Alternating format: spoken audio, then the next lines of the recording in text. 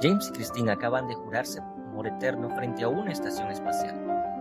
No suena nada romántico, pero es el año 2085 y la Tierra está a punto de colapsar. Huyen juntos a toda velocidad a través del espacio en busca del planeta Asa.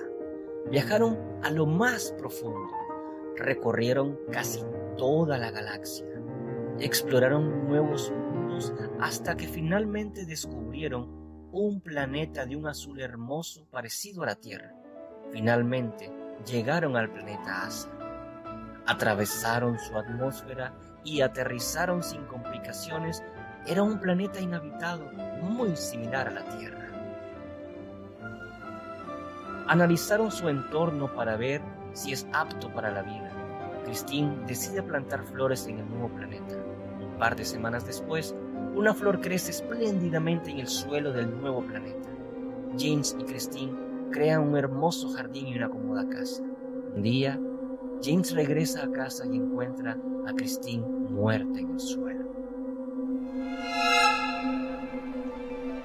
La tristeza consume a James, ya no encuentra motivos para ser feliz. James envejece, pero su dolor no desaparece. Una tarde, James decide salir a caminar por el jardín y se encuentra con la flor que plantó. Siente que la flor de algún modo es la presencia de Christine. Le habla a la flor compartiendo todo lo que ha ocurrido desde su partida. Oh, mi amor, por fin estamos viendo el atardecer juntos. Es tan cálido y hermoso como solía ser. Me gustaría saber si eres tan feliz como yo al ver esta magnífica puesta de sol a tu lado. Te amo por siempre, mi querida Cristina. James siente que alguien toca su mano. Se abrazan y se miran con amor.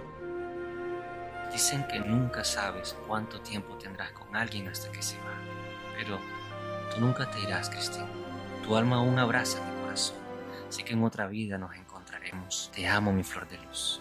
Sé que diste todo de ti para que disfrutáramos de esta vida juntos. Nunca me iré de tu lado. Estoy más que bien gracias a ti. Tu amor me permitió tener un descanso pleno. Es momento de que tú también descanses. Ven conmigo y disfrutemos de este hermoso atardecer que nos envuelve. James exhala su último aliento mientras Christine lo sostiene. Christine siente que su amado ya no sigue con vida. Lo hiciste bien, mi amor. Ambos reencarnan juntos en una nueva flor, unidos para siempre.